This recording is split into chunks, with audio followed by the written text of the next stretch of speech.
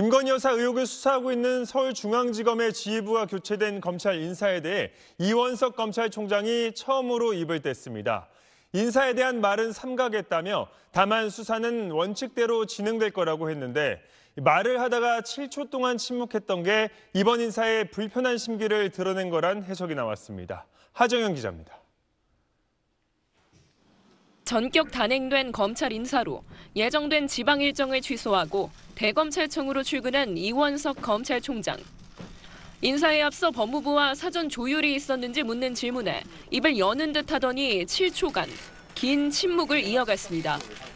어제 단행된 검사장 인사는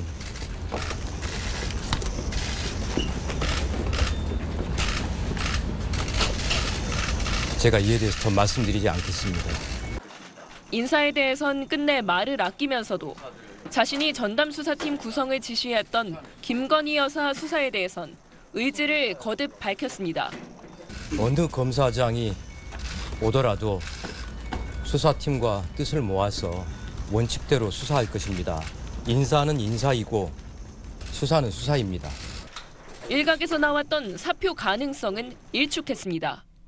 이 총장은 지난 주말 박성재 법무부 장관과 두 차례 인사 협의를 하면서 인사 시점을 연기해달라고 요청했던 걸로 파악됐습니다. 또 김 여사 수사를 지휘하는 대검 형사부장과 반부패부장 자리는 교체하지 말아달란 요청도 했던 걸로 전해졌습니다. 하지만 반부패부장만 유임되고 나머지 요청은 받아들여지지 않았습니다. 검찰 내부에선 이 총장이 당장 갈등이 격화하는 건 피하면서도 무언으로 불편한 심기를 드러냈다는 해석이 나왔습니다. 대통령실 관계자는 총선 영향을 고려하다 오히려 검찰 정기 인사가 늦어진 것이고 승진 과정에서 자연스레 수사 지휘부가 교체된 거라고 설명했습니다. 검찰 안팎에선 뒤이어 단행돼 검찰 중간 간부 인사에 관심이 쏠리고 있습니다.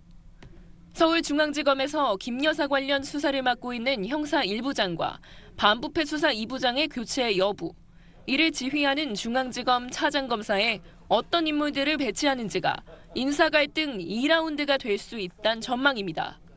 SBS 하정현입니다.